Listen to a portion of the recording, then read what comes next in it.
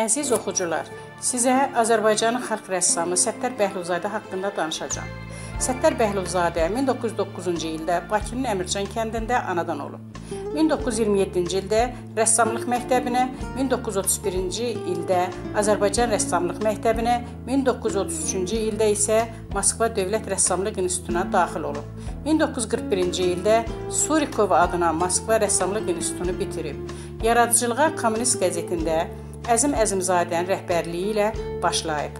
1931-1933-cü illərdə o dövrə uyğun məzmunlu ilk karikaturaları çap edilib. Səttar Bəhlulzadə iki qırmızı əmək bayrağı orden və medallarla təltif olunmuşdur. Əsərləri Mustafayev adına Azərbaycan Dövlət İncəsənət Muzeyində və Azərbaycan Dövlət Şəkil Qalereyasında, eləcə də Moskva və sairə şəhərlərin muzeylərində saxlanılır.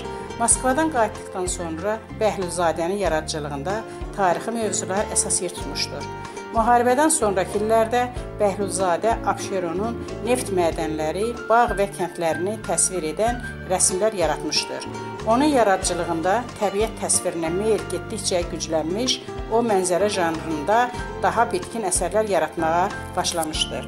1946-47-ci illərdə Respublika bədii sərgilərində Bəhlulzadənin Abşeron etüdləri nümayiş etdirilmişdir. Səttar Bəhlulzadənin yaradıcılığının məhsulu olan Xəzər gözəli, ədəbi məşəllər, Suraxana atəşgahı, Əmircan, Neft daşları və sair əsərləri əsas yer tutur.